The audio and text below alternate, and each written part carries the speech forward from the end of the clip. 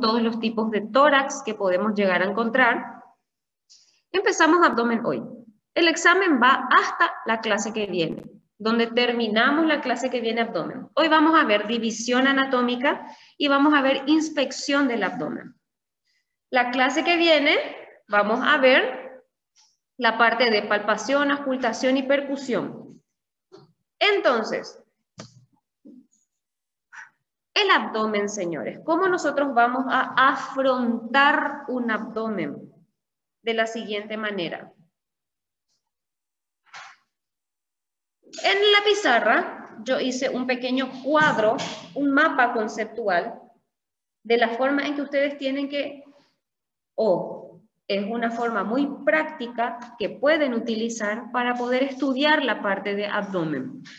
¿Cuál es la clasificación que yo pedí que se les mande a ustedes también allá virtual? Es una clasificación de la división anterior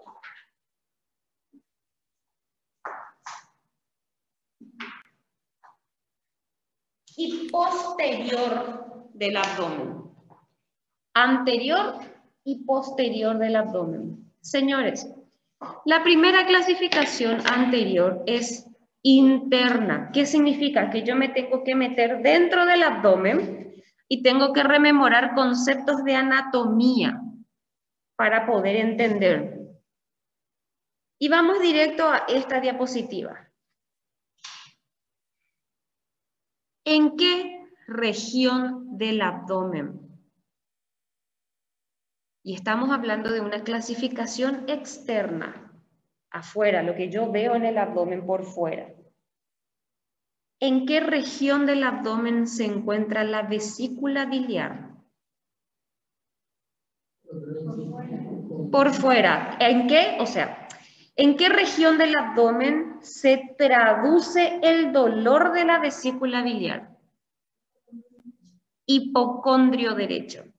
Quiere decir que ustedes manejan la división externa en hipocondrio derecho, epigastrio, hipocondrio izquierdo, flanco derecho, mesogastrio, flanco izquierdo, fosa ilíaca izquierda, derecha e hipogastrio. Entonces, cuando yo les digo, paciente presenta dolor en el epigastrio, ¿qué órganos manejamos? Estómago y el hígado, sí, lóbulo izquierdo y duodeno. Páncreas, deja en stand-by. Vamos a dejar ahí suspendido páncreas. Si ustedes, señores, dominan esto, órganos que traducen el dolor en la región externa. ¿Y en qué región, señores? Ustedes van a encontrar el diagnóstico mucho más fácil. Porque si no tienen idea de la distribución anatómica con respecto a la división externa del abdomen, es un poco complicado llegar al diagnóstico de algo. Si yo les digo, paciente presenta dolor en cinturón, dolor en banda, ¿a qué patología me estoy refiriendo? Pancreatitis, cuando yo les digo dolor en banda, ¿qué región del abdomen duele?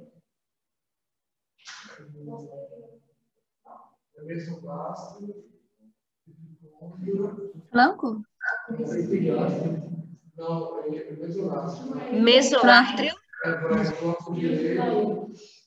Flanco direito e esquerdo.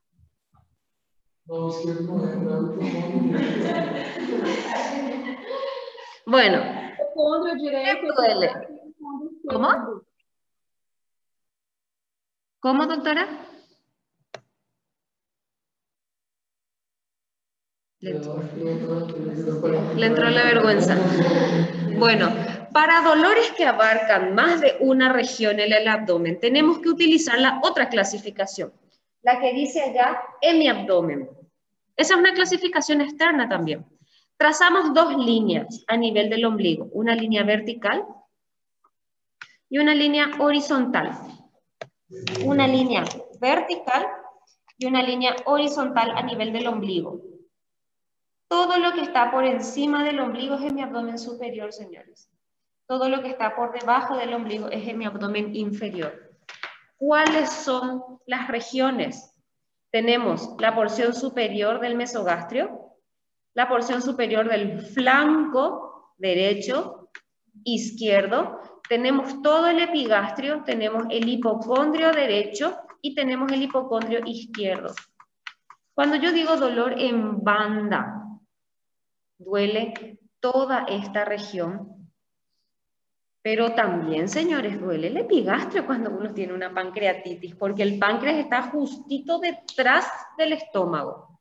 Entonces, Toda esa región es dolor en banda. Para no estar diciendo, el paciente presenta dolor en el flanco derecho, flanco izquierdo, mesogastrio, epigastrio, y es muy largo. Resumimos en mi abdomen superior.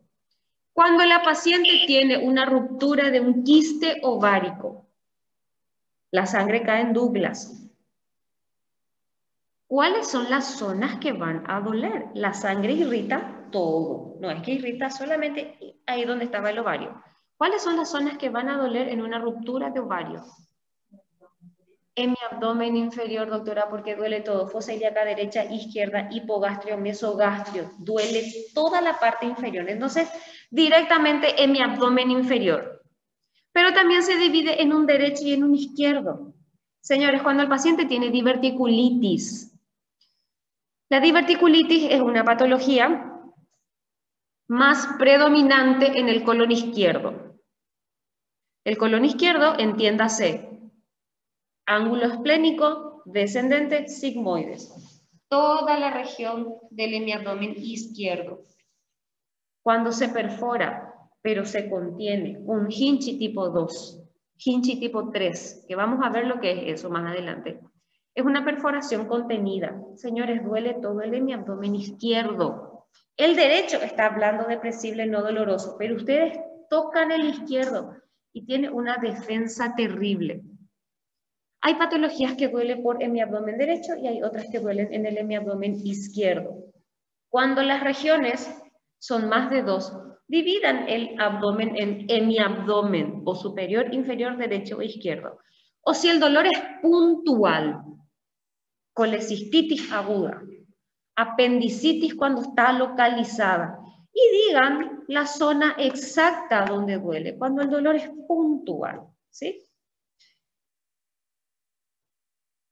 Paciente de 65 años, hipertenso, tratamiento totalmente irregular.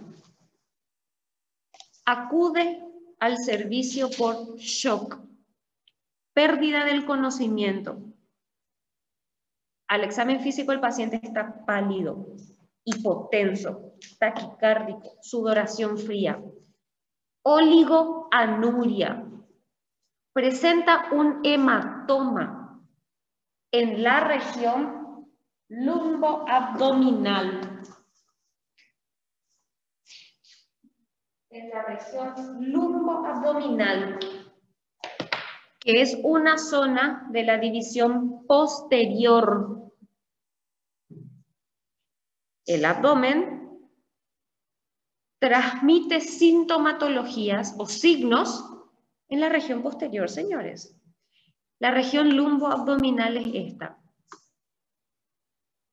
que está marcada por una línea vertical que transcurre a lo largo de la espina ilíaca antero-posterior. El huesito que tenemos acá, que le da la forma, junto con el glúteo mayor, al glúteo, este es el hueso antero-posterior.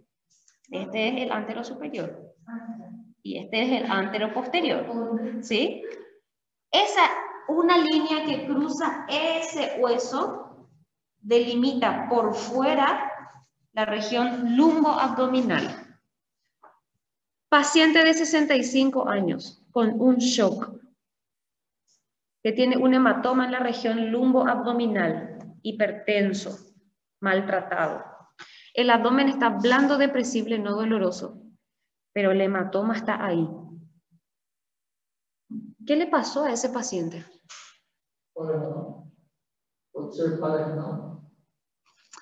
En algún momento va a tener falla renal, por eso que está oliguanúrico. Pero ese no es el origen del problema, esa es una consecuencia del problema.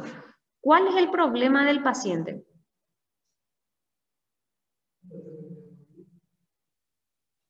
¿Qué? ¿Una qué? Perforación. ¿De qué? El colon, y ahí para eso tenemos que saber la división interna del abdomen. El colon es un órgano intraperitoneal. Se perfora el colon, doctor, tu paciente va a tener una defensa, una irritación en el abdomen atroz. Este paciente no. Este paciente, el abdomen está noble. Allá atrás es el problema. ¿Qué le pasó al paciente?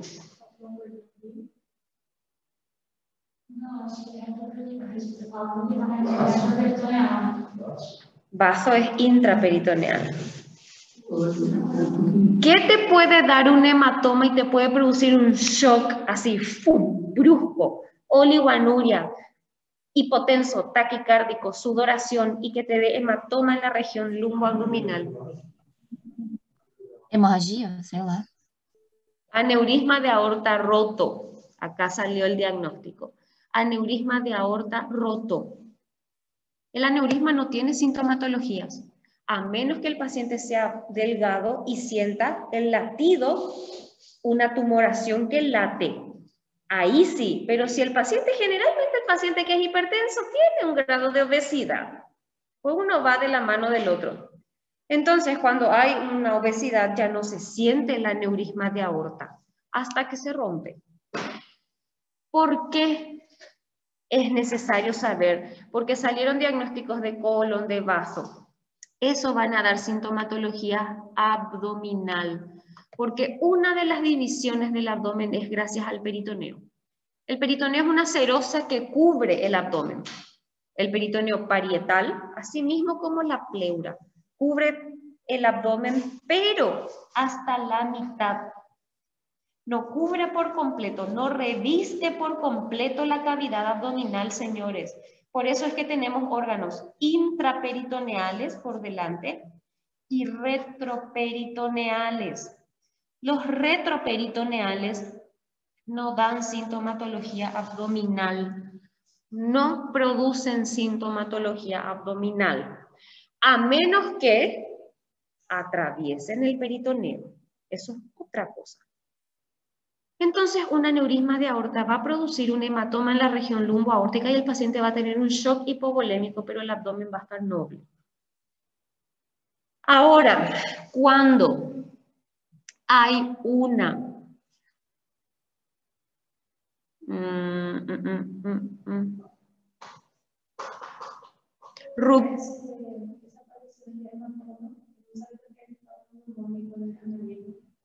patognomónico de aneurisma roto, aneurisma roto, porque el hematoma que aparece en otras regiones del abdomen son patognomónicas de otras patologías y vamos a ver también ahora, ¿sí?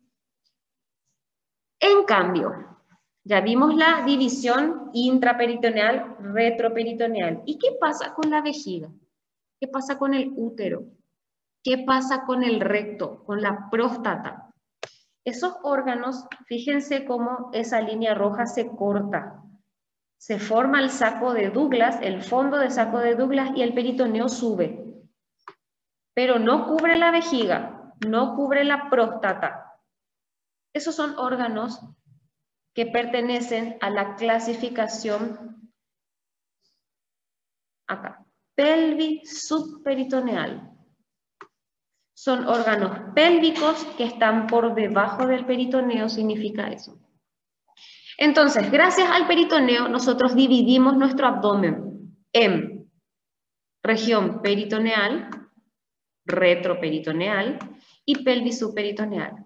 Entonces, señores, dependiendo de cuál es la zona del abdomen que presenta el síntoma, ustedes van a saber qué órgano es el comprometido. Si se rompe el vaso, vas a tener, doctor, una irritación del abdomen atroz. Vos no le vas a poder tocar a tu paciente de tanto que le va a doler. pero vos le puedes hacer una puño percusión que no va a sentir tu paciente. Si el paciente tiene una pielonefritis, paciente diabético, hace infecciones que son atroces. El paciente diabético hace absceso renal sin síntomas por pielonefritis. En el hospital regional una vez se hizo un drenaje de un absceso renal vía percutáneo de un paciente diabético por una pielonefritis. Tenía una tumoración en la región renal. La región renal es otra clasificación posterior del abdomen. Por dentro de esa línea que trazábamos en la espina antero-posterior, por dentro hasta la columna vertebral, es la zona renal. Ahí ustedes me van a ir a hacer su puño percusión cuando sospechen de pielonefritis. Ahí están los riñones. Ahí se traduce la patología que afectan a los riñones. Esa paciente diabética tenía una tumoración fluctuante a nivel de la zona renal, que fue finalmente un absceso renal a causa de una eh, pielonefritis. Si es que yo digo, mm, a ver, a ver, a ver, a ver, masa en la región lumboabdominal y renal, una masa. Al paciente no le duele, pero está ahí, en la región lumbo-renal. Lumbo y adentro también, en la zona renal. ¿Qué órgano van a pensar ustedes? ¿Qué es? ¿Van a pensar que es el colon transverso? ¿Van a pensar que es el estómago? ¿Van a pensar que es el hígado? ¿Van a pensar que es el riñón? Sí, sí, señores, van a pensar que es el riñón. ¿Por qué no el páncreas? ¿Por qué no el páncreas?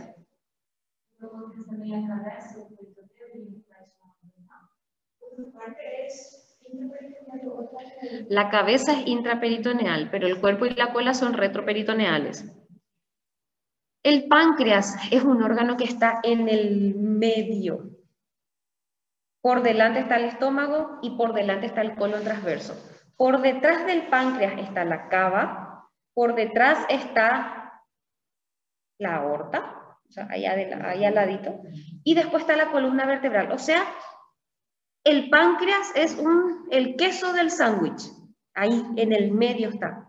Para que se pueda palpar un tumor pancreático, tiene que ser, no sé ni cómo, y el paciente generalmente no llega vivo hasta tamaños muy grandes de cáncer de páncreas. Entonces, para que el páncreas se palpe, es prácticamente imposible.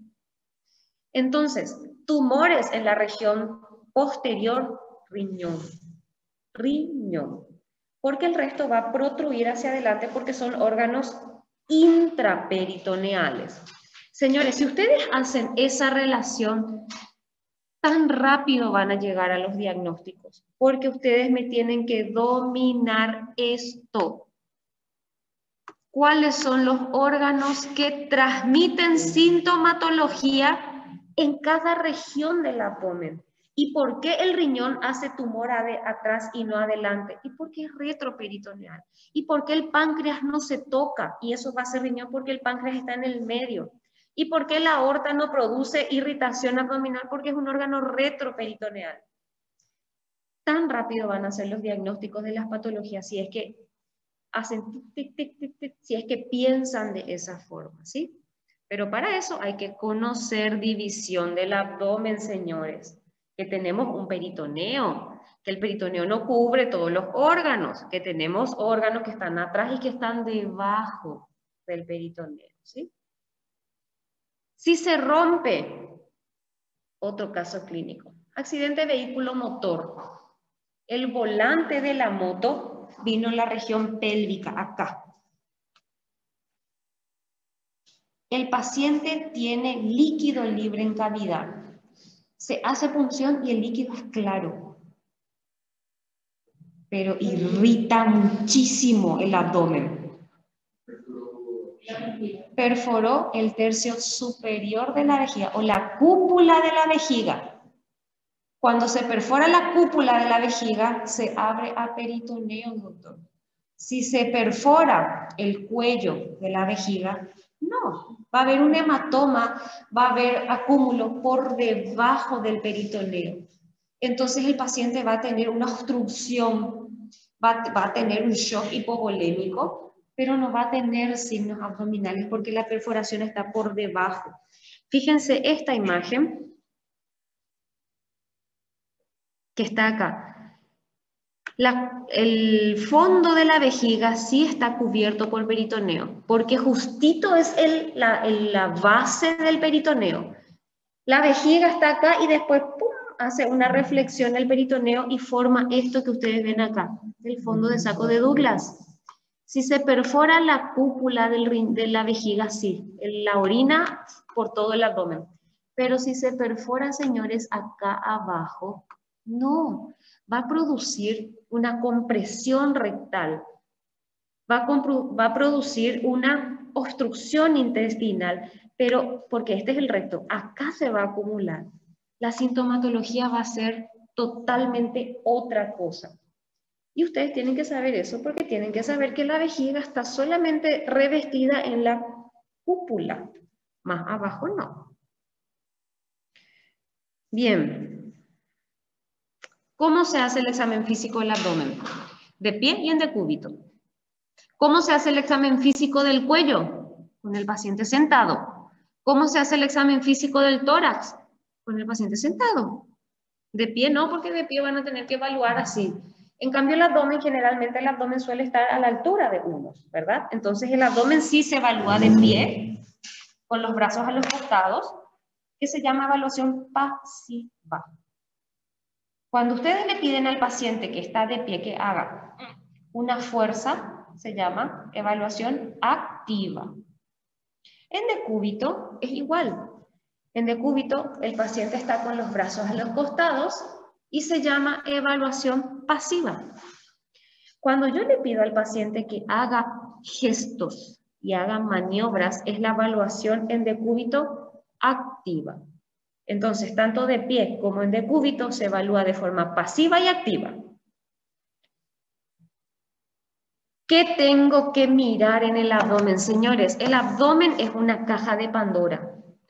El abdomen, nosotros podemos encontrar tantas cosas en el abdomen. Incluso en el ombligo podemos encontrar miles de patologías, cosa que jamás, calculo que nunca se pusieron a mirar el ombligo del paciente a partir de ahora me van a mirar el ombligo del paciente.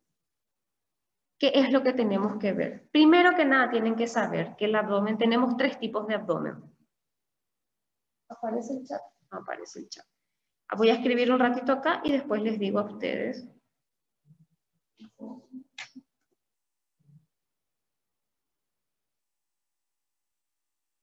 Tenemos tres tipos de abdomen. Abdomen globuloso,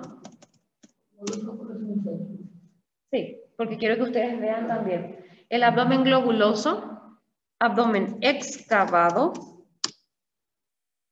y el abdomen plano. Tres tipos de abdomen tenemos. De acuerdo a la cantidad de tejido celular subcutáneo que tenga el paciente o de acuerdo a las patologías que tenga el mismo. Cuando hablamos de un abdomen plano, es porque el tejido celular subcutáneo, y eso se evalúa en decúbito, señores. No se evalúa estando de pie. Cuando el tejido celular subcutáneo está al ras de la espina ilíaca superior, se llama abdomen plano. Cuando ustedes le acuestan al paciente y tienen este abdomen, acá, este abdomen, esto es un excavado. Esto es un abdomen excavado. Cuando el tejido celular subcutáneo está por debajo de las estructuras óseas. Ese es un abdomen excavado. El globuloso. Ay, tenemos tantos tipos de abdomen globuloso, señores. de las superficies óseas, ya sea de la espina ilíaca anterosuperior o de las parrillas costales, cuando va por debajo, ¿sí? Globuloso. Cuando ustedes me describan un abdomen y me digan, doctora, el paciente tiene un abdomen globuloso a expensas de gravidez, a expensas de tejido celular subcutáneo, a expensas de líquido acítico, a expensas de distensión abdominal. Esta es una, esta es una radiografía donde se ve el estómago que está gigante. Este es el colon ascendente. Fíjense, este es el ángulo hepático. Este es el colon transverso, ángulo esplénico y descendente. Esta es una materia que vamos a ver el año que viene. Entonces, el abdomen plano es plano. El abdomen excavado es excavado. Globuloso. Cuando hablamos de abdomen globuloso, tenemos que empezar a abrir ya todas nuestras ventanitas. Y tenemos que decir por qué el abdomen del paciente es globuloso. Acá tenemos una primera clasificación. Cuando hablamos de abdomen globuloso por gravidez, ya está. Cuando hablamos de abdomen globuloso por líquido acítico, ya está. Ahora, cuando hablamos de tejido celular subcutáneo, abrimos de vuelta unos cuantos, unas cuantas flechitas. Cuando hablamos de distensión abdominal, abrimos de vuelta unas cuantas flechitas. ¿Qué son? Signo de Gobiet. Es la primera flechita que vamos a abrir cuando hablamos de distensión abdominal. Y les voy a hacer acá otro cuadrito para que le puedan mandar a sus compañeros. Abdomen globuloso. Ustedes tienen por gravidez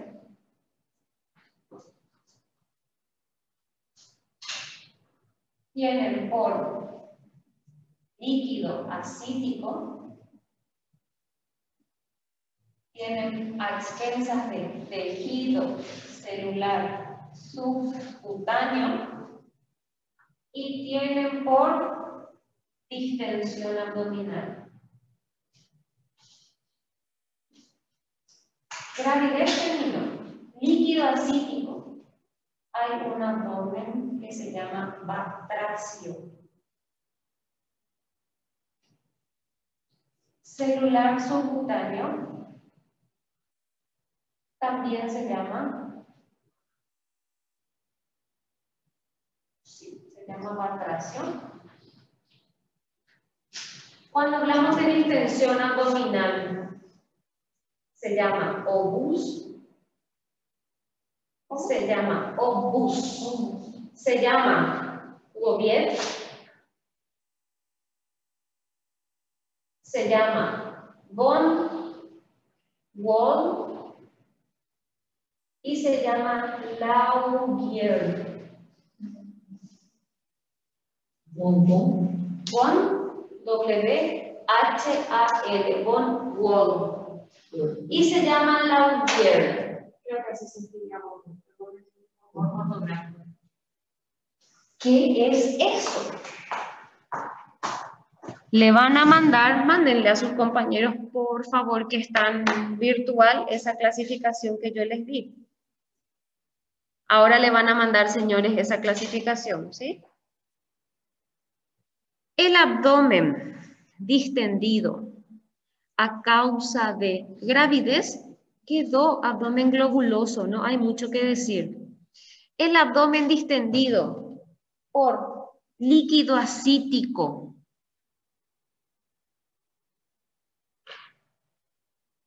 Es este, batracio.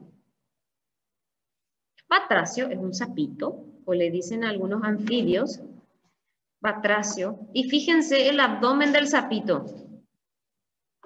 Es igualito a este abdomen. Es igualito al que tiene el abdomen producto de la cebada. La cerveza tiene mucha cebada. Señores, no sé si alguna vez vieron algún adulto mayor que tiene el abdomen de este tamaño. El paciente camina así, de tan grande que es el abdomen, por la cantidad de bebida que consume. Chicos, yo no sé si el hábito alcohólico de ustedes, pero cuando dejan de consumir bebida alcohólica, bajan de peso en una, en dos semanas y bajan 3, 4 kilos. A causa de la cebada, señores. La cebada, la cirrosis, produce un abdomen de batracio. ¿En qué consiste ese abdomen de batracio? Primero tienen que saber que es de una patología crónica.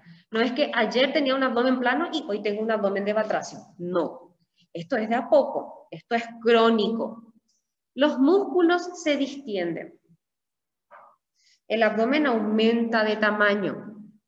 Queda flácido totalmente. Este paciente se le quita el líquido acítico y va a quedar una cosa súper holgada, súper flácida. El paciente obeso baja de peso y quedan los colgajos. ¿Qué es colgajo? La piel sobrante. Este abdomen de batracio, ustedes pueden decir abdomen globuloso a expensas de o tejido celular subcutáneo o líquido acítico o directamente me dicen abdomen de batracio.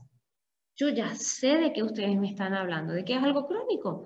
O es obeso el paciente o tiene una cirrosis. En cambio, y es una de la clasificación de distensión abdominal, o BUS, este sí, ayer tenía plano y hoy tiene el abdomen distendido, porque el abdomen de obús es agudo, es de una obstrucción intestinal, es de un vólvulo intestinal. Este sí, ayer no tenía nada y hoy tiene un abdomen así. ¿Cuál va a ser la diferencia semiológica entre este y este? Que este va a estar gritando de dolor.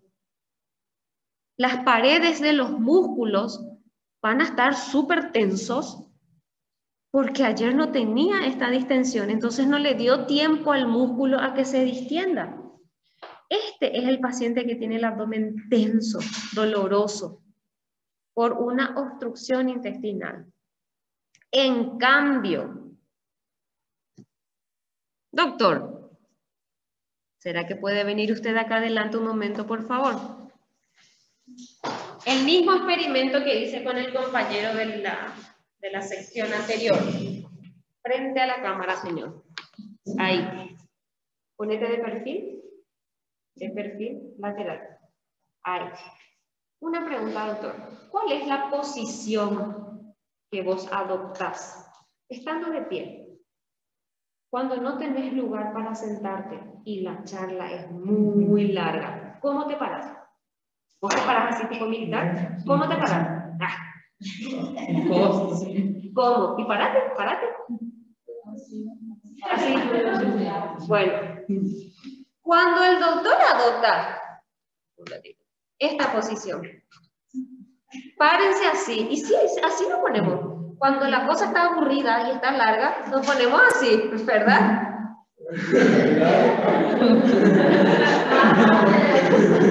Saca tu brazo, doctor. La cosa no está aburrida ahora. Bueno. ¿Qué, se forma cuando el doctor está así? Sifosis. Hiperlordosis. El paciente o el doctor hace esto y hace esto. ¿Qué pasa con la hiperlordosis? ¿Qué produce la hiperlordosis? Esto. El hecho de estar así, la columna vertebral empuja los órganos abdominales hacia abajo. No se vuelvan a parar así, porque si ustedes continúan con esa posición, cuando sean mayores, señores, van a tener una flacidez abdominal. Las vísceras van a venir acá abajo. Fíjense los abuelitos que caminan así. Los abuelitos tienen acá el abdomen. Las abuelitas más que nada tienen acá el abdomen. Eso se llama, gracias doctor. Exacto, esa es otra postura. Eso se llama abdomen en alforja. El problema no es la víscera. El problema no es una obstrucción intestinal. El problema no es lo absoluto líquido abdominal. El problema es la postura, la hiperlordosis que empuja las vísceras y produce una tosis, produce una caída de las vísceras en la región inferior. Y se van a dar cuenta, fíjense, a partir de ahora ustedes van a aprender a observar, no a mirar. Ustedes ya van a aprender a observar a los pacientes. Fíjense en los pacientes mayores cuando caminan, que tienen esta postura y ese abdomen.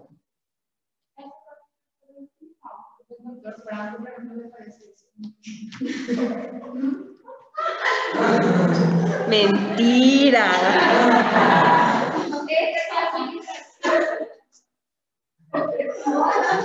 Dentro del cuadro.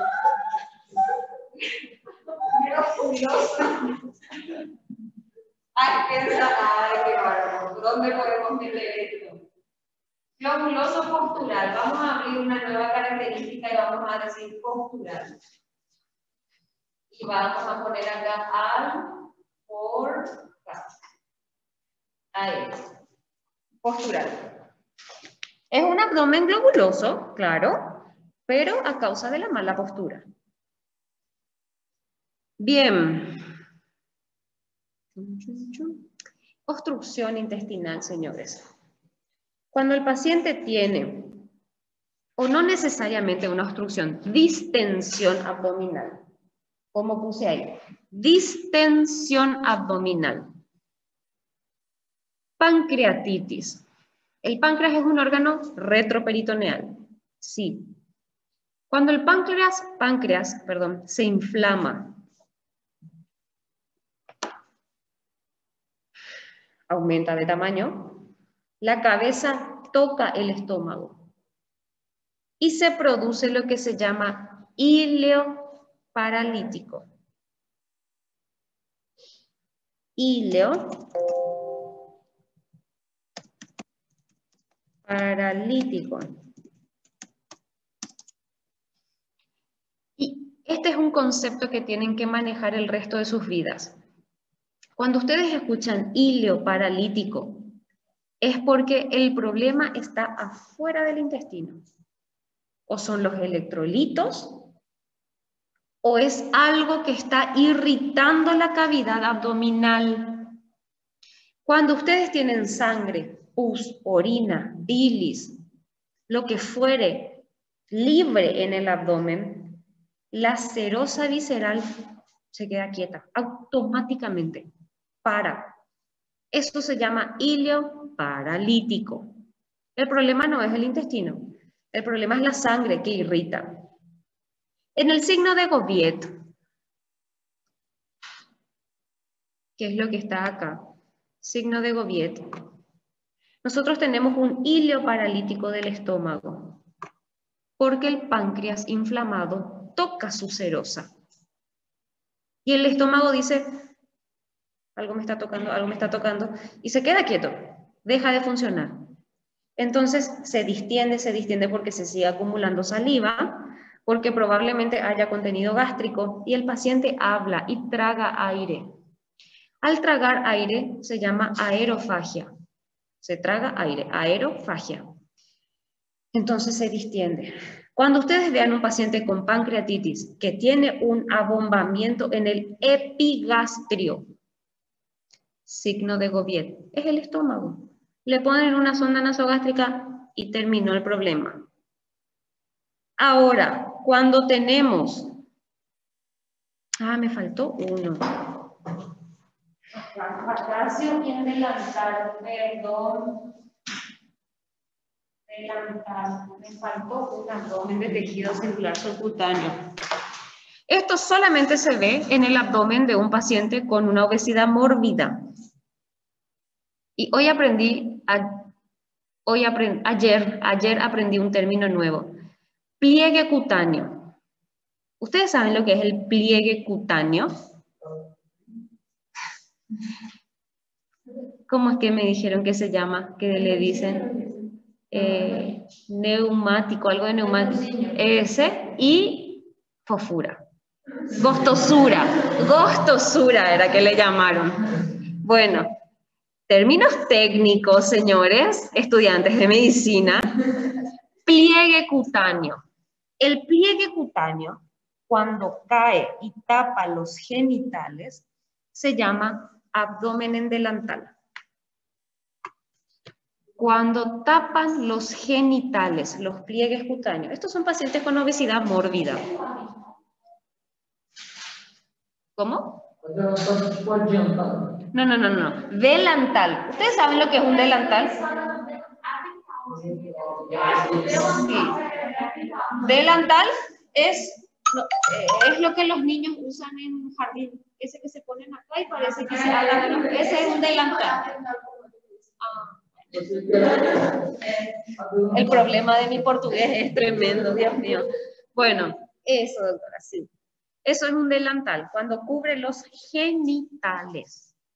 Ese tiene que ser el parámetro para que ustedes puedan decir abdomen en delantal.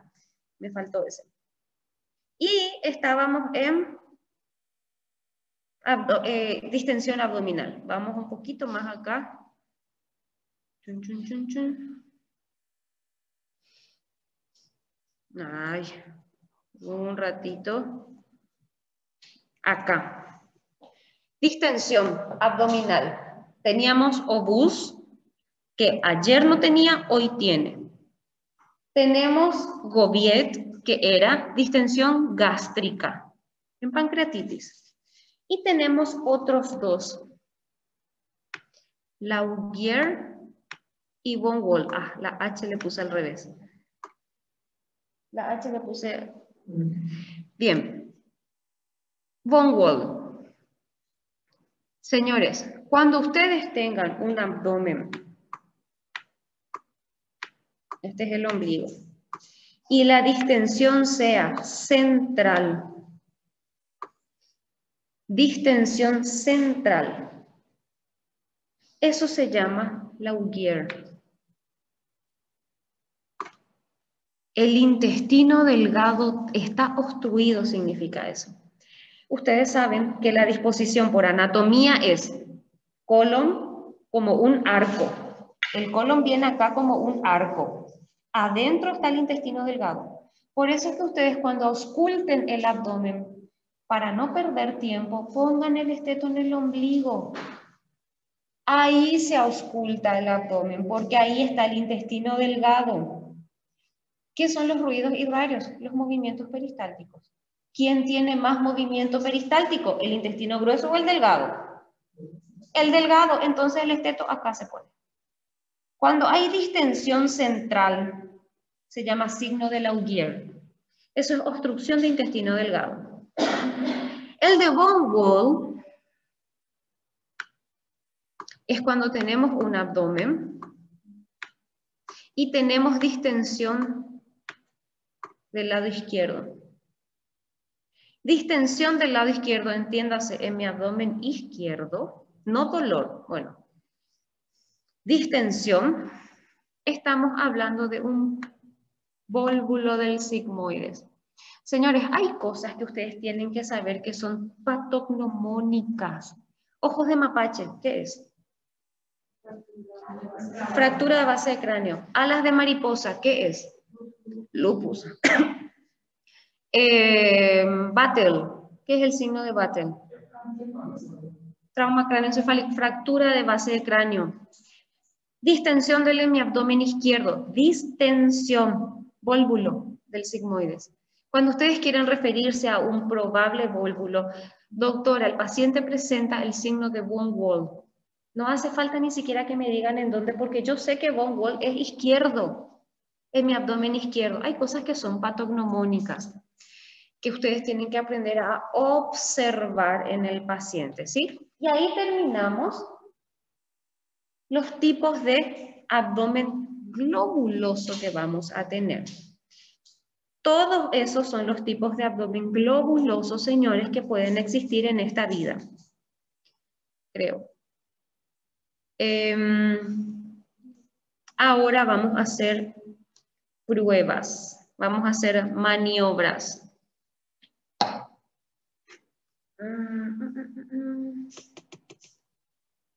Les voy a hacer otro cuadrito. ¿Qué voy a poner en el cuadrito? Voy a hacer acá nomás ya. Maniobras. maniobras para evaluar tumores. El paciente viene a consultorio y les dice,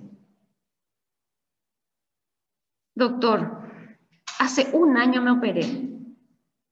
Súper bien salió mi cirugía, bien, pero hace un mes que me doy cuenta que mi, panza, el paraguayo dice panza a toda la región abdominal, le duele la panza y no sabe si es estómago, útero, colon, panza.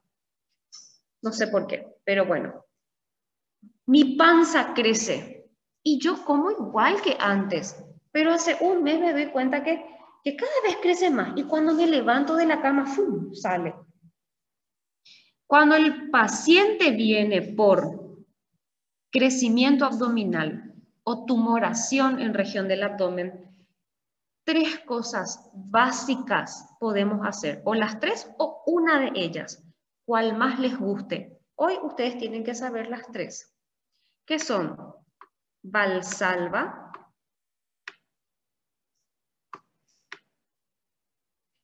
Carnet y Butcherput. Valsalva, Carnet y Bucharput. Son tres maniobras para evaluar tumor abdominal. Cuando el paciente refiere y viene a consultorio junto a ustedes, refiriendo crecimiento abdominal o tumor, directamente tumor abdominal. ¿Cuáles son esas maniobras? Y vamos a utilizar modelos para eso. Doctor, ahora te toca a vos. Adelante, por favor. Cuando ustedes ven a sus compañeros haciendo las maniobras, se les queda mucho mejor, ¿no? Bueno, se les queda mucho mejor, que es mucho mejor que yo les diga la maniobra de Valsalva con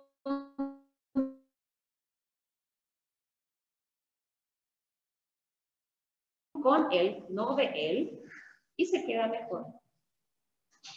Vamos a hacer de cuenta que nuestro paciente está en decúbito. Señores, las tres maniobras se hacen con el paciente en decúbito. No sentado, pero como no tenemos camilla, para la clase que viene vamos a pedir una camilla porque vamos a hacer muchísimas maniobras. Pero bueno, en decúbito dorsal. Doctor, ¿Vos sabés lo que es una maniobra de Valsalva? No. La maniobra, las tres maniobras en realidad, las tres maniobras que están ahí consisten en aumentar la presión intraabdominal, haciendo diferentes cosas. Valsalva aumenta la presión intraabdominal pidiéndole al paciente que haga fuerza, como si fuera que va a ir al baño. Una fuerza como si vas a ir al baño. Bien, ¿dónde sentís, ¿dónde sentís la presión, doctor? En el abdomen. ¿Qué pasa? Cuando aumenta la presión intraabdominal, el recto anterior del abdomen se tensa. Ahora, doctor, trae tu cabeza para adelante. Trae hacia adelante. Trae, trae. ¿Dónde sentís la presión? En el abdomen. Esa es Bucharput. Cuando el paciente en decúbito, ustedes le piden que levanten la cabeza y hacen una pequeña contrapresión. Hay veces que es medio engorroso, da vergüenza, llámenle X, decirle al paciente que haga como si fuera que va a hacer caca. El paciente no entiende muchas veces qué es lo que ustedes quieren que haga. Entonces directamente pídanle, señora, levantar la cabeza y ustedes intentan mandar la cabeza hacia atrás. Es lo mismo, tiene otro nombre se llama un Ahora, doctor, bien al borde de la silla, ponete. No, no, no. La silla acá y vos en el borde. Acostarte ahí. Levantar las dos piernas. Al, no, al mismo tiempo. Arriba, arriba, arriba. ¿Dónde sentís la fuerza? Un poco menos, Ese es un ejercicio que se hace en el gimnasio. Ese es un abdominal que se hace en el gimnasio para fortalecer generalmente en la porción inferior del abdomen. Se, se, gracias, Se aumenta la presión intraabdominal haciendo eso. Eso es carnet. A la misma altura los dos miembros inferiores. El paciente tiene que estar en decúbito. Eso es carnet. Esto es carnet. Las tres maniobras tienen la misma finalidad, aumentar la presión intraabdominal. Solamente que yo pido tres cosas diferentes. ¿Y para qué yo quiero tantas maniobras? Para lo siguiente. Cuando las tres se refieren como Valsalva positivo, Carnet positivo o Bucharcut positivo, significan dos cosas. La tumoración es de cavidad o hay un defecto de pared. Defecto de pared abdominal. Cuando las maniobras son negativas, significa que el tumor es del músculo recto del abdomen. ¿Y qué es lo que significa que la maniobra es positiva o negativa? Si el tumor protruye, si el tumor se visualiza, si el tumor sale, si el tumor sobresale, quiere decir que yo tengo un tumor en el colon, en el estómago, en el ovario, por eso es que aumenta la presión intracavidad y ¡fum! el tumor sale para afuera. O tengo una hernia o una eventración porque la pared se endurece, se endurece, pero el orificio queda libre, entonces ¡pum! salen las vísceras. Cuando las maniobras son positivas, cualquiera, Valsalva, Buchargut o Carnet, quiere decir o que mi paciente tiene una hernia, una ventración o tiene un tumor de cavidad.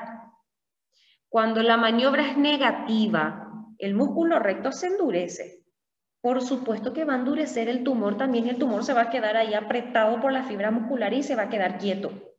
No va a protruir.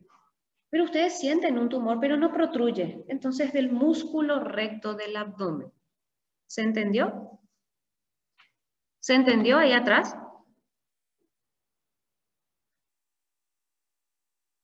Sí, profe. Ah, bueno. Bien tumores falsos. ¿Y por qué se llaman tumores falsos? Porque el problema no son estos que se exteriorizan. El problema es otra cosa. Y yo tengo que identificar. Un anciano de 85 años que acude por oliguria, por anuria, perdón, anuria, dolor en la región del hipogastrio, intenso, grita de dolor el paciente. Al examen físico, ustedes observan una tumoración redondeada, bien delimitada en hipogastrio. ¿Qué es? ¿Qué órgano es? Vejiga.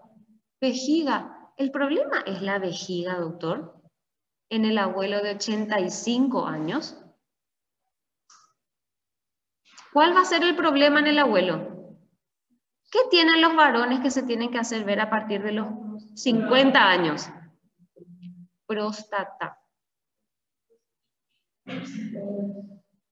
La próstata, señores, es un órgano que obstruye la uretra y no permite que la orina salga. Entonces, en el abuelito de 85 años que no orina, que tiene una tumoración de estas características en el hipogastrio, señores, es vejiga. No.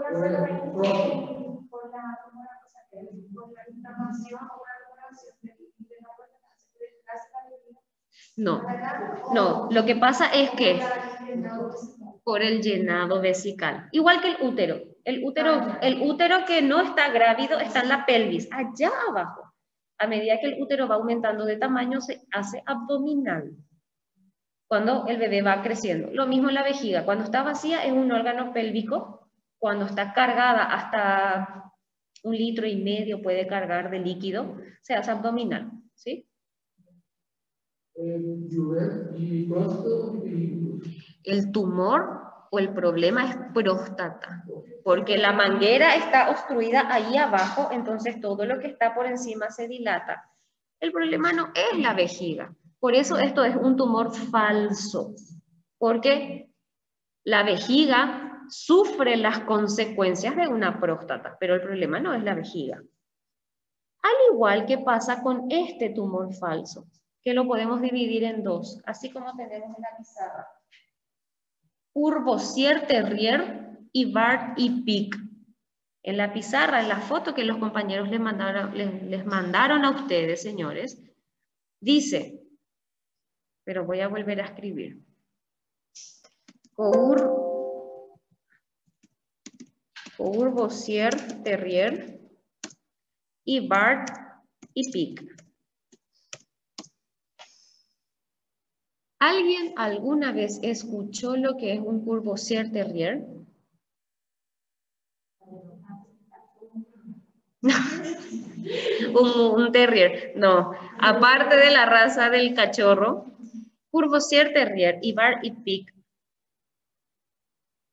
tienen una traducción sintomatológica similar, vesícula aumentada de tamaño. Fíjense, esta es una vesícula gigantesca, casi del tamaño del lóbulo derecho del hígado. Prácticamente igual está de tamaño. Fíjense acá, en el abdomen del paciente. Justito acá tiene una sobreelevación. Esa es la vesícula. Si yo les digo vesícula dolorosa, es bar y pic. Si yo les digo vesícula no dolorosa, Courvoisier Terrier. Vesícula dolorosa, palpable, obstrucción litiásica. Este es el hígado, esta es la vesícula, cístico, hepático común, derecho, izquierdo, colédoco.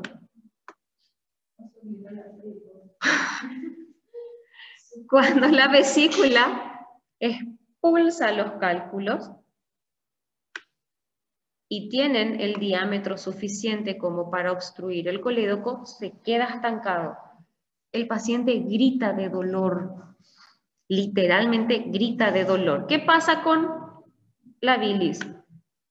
No se puede drenar, queda, queda obstruida. Entonces la vesícula pum, pum, pum, pum, pum, pum, pum, aumenta de tamaño. Vesícula palpable, dolorosa, obstrucción litiásica. Es igual a BART y PIC. Ahora, acá tenemos el Wirsum. Y acá tenemos el páncreas. Vesícula palpable, no dolorosa, ictericia, coluria y acolia, CA de cabeza de páncreas. El mismo principio fisiopatológico no deja pasar la bilis, entonces la vesícula se distiende.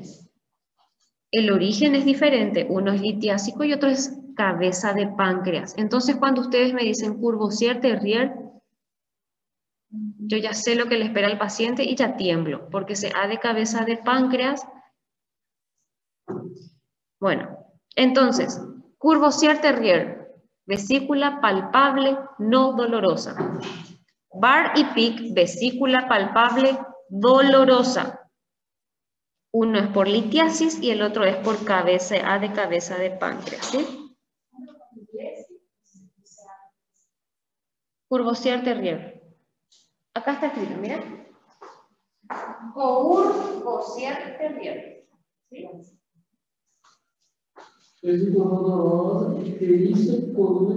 Acolia. Acolia. Todo lo que produce la falta de bilis en el tracto digestivo aumenta en el sistema renal, porque por algún lado se tiene que eliminar. Entonces la orina está súper teñida y la materia fecal no está teñida. ¿sí? Cáncer de cabeza de páncreas. sí. Otro tumor falso. El estómago, señores.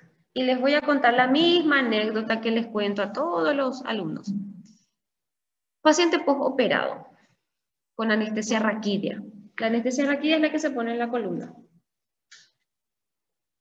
¿Qué es lo que produce la anestesia raquídea? Anestesia. Falta de sensibilidad, pero también produce disminución del movimiento. O sea que el paciente se relaja. El músculo trabaja sobre la musculatura. El estómago, el intestino es puro músculo. Entonces, de la cintura para abajo no hay motilidad intestinal. Todo para, queda quieto. Cuando el paciente sale de quirófano, está despierto, súper despierto, súper lúcido está, porque la anestesia fue de la cintura para abajo. Lo que ustedes le tienen que decir es que no hable 10 horas, que se quede callado. ¿Por qué? Porque si el paciente habla porque no tiene dolor y está súper despierto, traga aire. Señores, el estómago se distiende y duele horrores. El paciente vomita, el paciente suda frío, el paciente le duele. Lo primero que ustedes van a pensar es, Santo Cristo, acá se soltó la aorta, explotó la aorta, eh, no la aorta porque es retro, pero explotó algún vaso sanguíneo, mi hilo se soltó, tengo que volver a entrar a quirófano. Una paciente nos hizo correr de madrugada por dolor, gritaba, ustedes tenían que ver cómo gritaba esa prójima le hicimos una, conseguimos que un imagenólogo venga a hacerle una ecografía abdominal para ver si había líquido libre en cavidad para entrar a quirófano con la paciente. No había nada, ni el suspiro estaba dentro del abdomen, pero el estómago estaba de este tamaño. Y le preguntamos, señora, ¿vos hiciste lo que yo te dije? ¿Te quedaste callada por 10 horas? Eh, lo que pasa es que vino mi no sé quién y hace mucho no le veía, doctora, y vino a visitarme y Dios mío, estas son las cosas que me hacen decir, ¿quién me obligó? ¿Quién me obligó a ser cirujana? Bueno, aerofagia, señores, aunque ustedes no lo crean, aerofagia trae problemas. Y es un tumor falso, porque el problema no está en, el abdomen, el problema no es el estómago. El problema está en que el abdomen, el intestino, está con un hilo paralítico por la anestesia y el paciente mete aire, mete aire en, una, en un órgano que no tiene movimiento peristáltico, entonces se acumula. Eso es un tumor falso. Con una sonda nasogástrica se solucionó el problema de la paciente. Bien, abdomen plano. Abdomen plano más obstrucción intestinal. Mecánica, cuando hay algo que está dentro del intestino tapando. El intestino al principio intenta vencer, intenta luchar, se mueve, se mueve, el movimiento peristáltico está así. A eso se le llama abdomen en chapa de zinc. Es un abdomen de lucha. ¿Por qué chapa de zinc? Y porque este es un material que se utiliza para hacer casas que tiene esta forma, esta disposición. El movimiento intestinal se ve así, perfectamente en un paciente delgado, intestino delgado que se mueve, que está moviéndose mucho, abdomen en chapa de zinc con Z.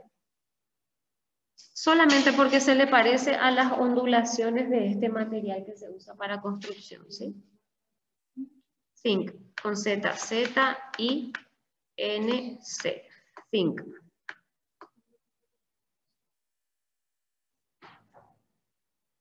Uy, ombligo.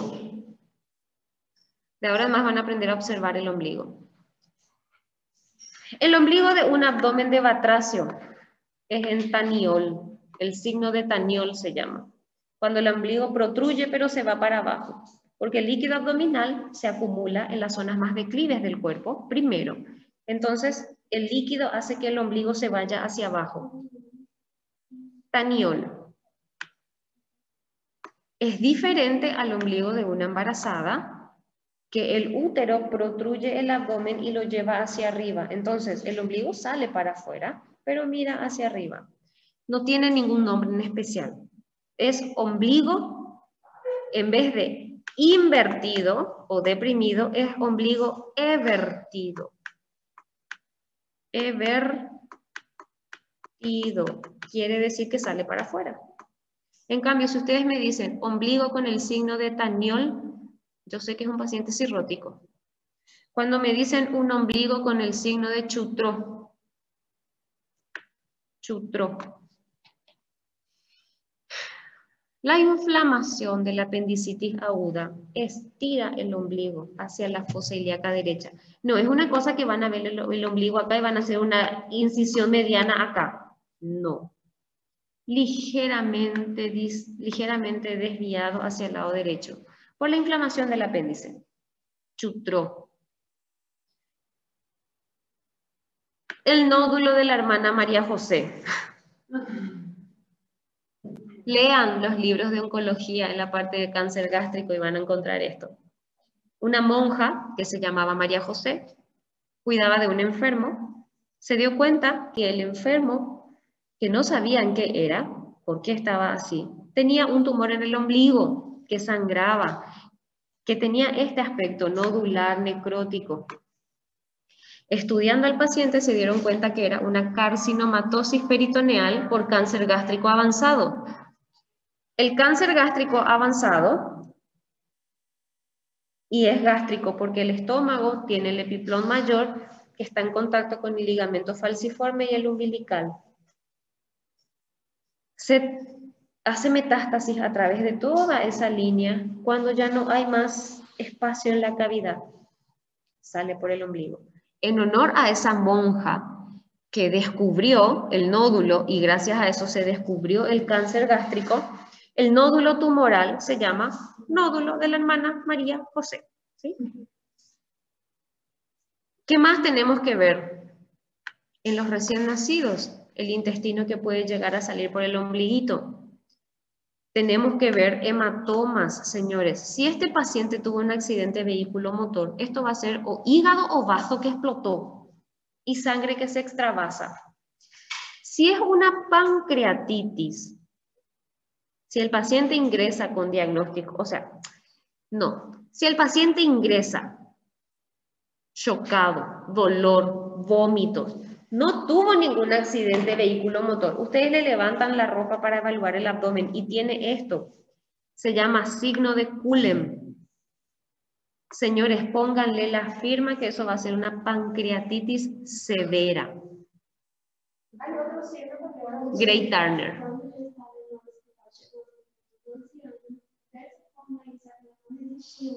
No, gen- generalmente sí, porque son pancreatitis donde hay tanta necrosis, hay tanta extravasación de jugo pancreático. Señores, el jugo pancreático es un ácido que se derrama en el abdomen, degrada todo lo que hay. Cuando degradan los vasos sanguíneos, la sangre se extravasa a través del abdomen y tiene esto, el de Cullen. El de Gray Turner es cuando es retroperitoneal y tienen los flancos, ¿sí? Existe, existe esto. Circulación colateral. Vamos a aprender a mirar una circulación colateral. Que ya enseguida les digo cómo. Ombligo con un nódulo negro que sangra cuando la mujer está en su ciclo menstrual. Endometriosis. El endometrio puede estar en el hígado, el endometrio puede estar en el intestino, el endometrio puede estar en el ombligo. En la incisión de la cesárea puede haber endometriosis. Es endometrio. El endometrio es lo que nosotros eliminamos como sangre cuando no hay gestación. Cuando hay gestación es lo que después va a formar la placenta junto a los vasos maternos. El endometrio, no sé por qué regla de tres, se escapa del útero y se va por todos lados. Cuando está en el ombligo es un nódulo endometriósico. Sangra. Sangra cuando la mujer tiene su periodo. Las estrías. Ustedes tienen que mirar los colores de las estrías. Si son blancas y están por debajo del ombligo, es a causa de que el paciente subió de peso y después bajó. Se rompió la piel y quedó la ruptura de la piel. Cuando las estrías pasan la línea del ombligo y son rojas, es Cushing hasta demostrar lo contrario. O sea, los diagnósticos, señores, se hacen por estas cosas.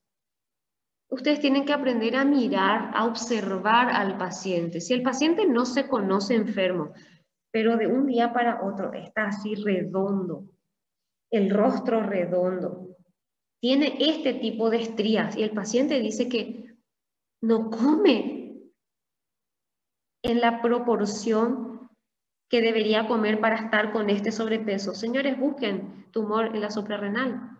Busquen alteración de los corticoides, síndrome de Cushing, ¿sí? Circulación colateral. Circulación colateral no es una vena dilatada solamente. No es una vena accesoria dilatada solamente.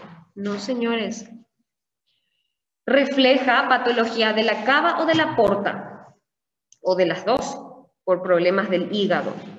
Cuando la circulación colateral está por encima del ombligo o en cabeza de medusa, se llama cuando está, sale del ombligo, así como este paciente. así como este paciente. A pesar de que este paciente parece que tiene solamente por encima del ombligo, por debajo no se ve ninguna... Por debajo parece que no tiene circulación colateral, es solamente por encima del ombligo. Esto es afección portal, señores. Cuando está por encima del ombligo o en cabeza de medusa, cabeza de medusa es en el hemiabdomen superior y también en el hemiabdomen inferior. El problema es la porta. Hay que pedir un ecodoppler portal.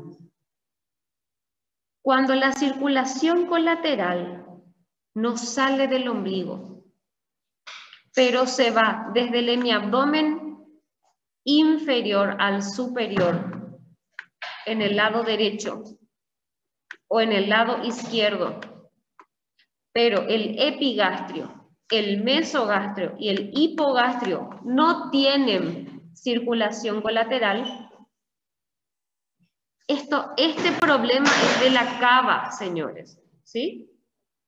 Hay que aprender a observar la circulación colateral también. El color. Cuando nosotros queríamos constatar anemia en un paciente en el rostro, ¿qué hacíamos? Bajábamos el párpado inferior y veíamos la mucosa. Hacíamos vitropresión en la uña sin esmalte. O le pedíamos al paciente que abra la boca, la conjuntiva yugal.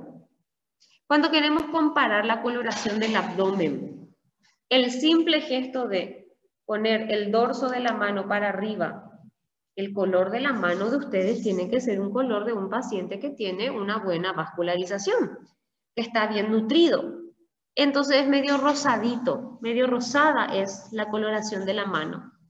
Ustedes ponen sobre el abdomen del paciente y van a corroborar los distintos tipos de color que puede tener, o blanco, o amarillo, o azul. Azul es si es que está con una lividez cadavérica, ¿sí?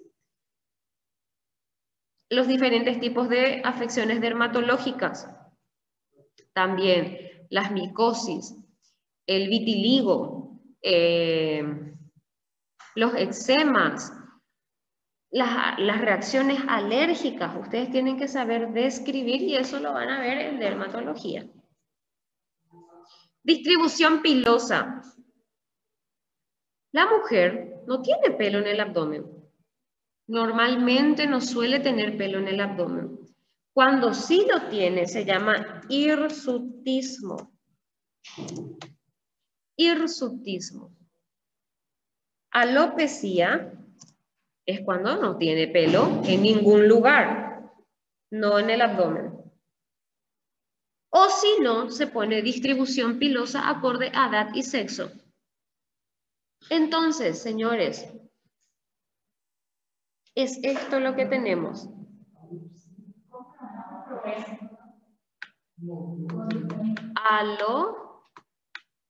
Alopecia. Alopecia es cuando no tiene pelo. Cuando tiene pelo en los lugares donde no debe de tener, se llama hirsutismo. Que generalmente esto ocurre cuando la mujer tiene ovario poliquístico que es una patología que se trata con hormonas, con anticonceptivos. Entonces, una vez que ustedes inspeccionaron, palparon, percutieron, auscultaron un abdomen, tenemos 16 características que tienen que describir. Nosotros vamos a terminar la clase que viene con la palpación, con la percusión y con la auscultación. El resto ya vimos todo hoy. Abdomen globuloso a expensas de, y ustedes ponen a expensas de qué? Blando, depresible, no doloroso a la palpación superficial ni profunda. No palpo visceromegalias ni tumoraciones. Temperatura conservada, coloración conservada, simétrico. No se observan cicatrices, estrías atróficas ni circulación colateral. Cicatriz umbilical evertida. Distribución pilosa acorde, acorde a edad y sexo percusión conservada o matidez o timpanismo, ruidos hidroaéreos presentes y conservados. 16 características son las que se tienen que poner a la hora de describir el abdomen. Cuando yo les pido, describan el abdomen utilizando 5, 8, 10 características, ustedes me tienen que poner esto. No es que me van a poner, el abdomen se palpa con dos manos y nosotros tenemos que utilizar el dedo percutor y el dedo. No, yo ya sé cómo se usa el dedo, yo ya sé qué dedos. A mí no me interesa eso. A mí lo que me interesa es si ustedes saben qué es lo que tienen que ver. Eso es lo que yo pido. Yo les voy a contar un caso clínico. Yo les voy a decir que el paciente tiene una pancreatitis severa, shock séptico. Describe el abdomen de dicho paciente. No me pongan. La palpación se hace con dos manos con mucha luz del lado derecho porque el paciente no. Directamente me ponen abdomen globuloso.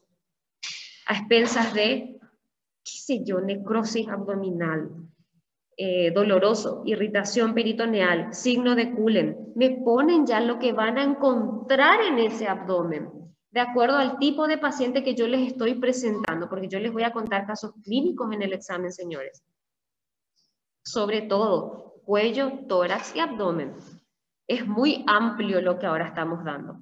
Después vamos a empezar pancreatitis, apendicitis, colecistitis, colangitis. Después vamos a ir muy específico. Ahora yo puedo preguntar muchas cosas, puedo preguntar, porque es muy general todo lo que dimos. Si yo les pido describe un abdomen con 10 características, tienen que estar las 10 para que valga un punto. Si están 9, no vale 0,5. Yo no doy coma. Yo doy o uno o nada.